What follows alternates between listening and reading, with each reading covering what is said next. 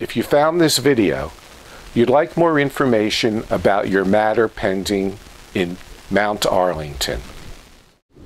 If you found this video, you've been charged with a crime related to driving while your license was allegedly suspended for a DWI conviction.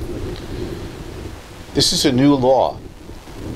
It used to simply be a traffic violation, but with the stroke of a pen, one is now facing a fourth degree crime.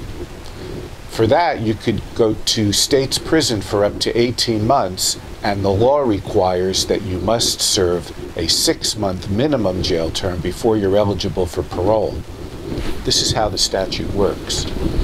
If you've been convicted of your first DWI, and during that period of DWI suspension, for that first DWI conviction, you were convicted a second time of driving while your license was suspended during that DWI period, DWI suspension period, you face this penalty.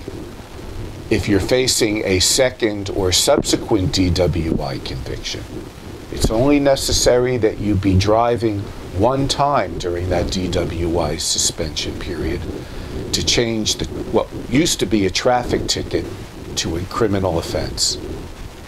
I've been representing thousands of people over the last 35 years who were facing violations of both DWI and driving while suspended. I've helped them, and I can help you. Call me at the number listed below so we can speak about this more. I'm Richard R. Uslan. For over 30 years, providing statewide services for people charged with crimes, DWI, and all municipal court offenses. For more information, visit my website indicated on this video or speak to another experienced, reputable, and dedicated attorney.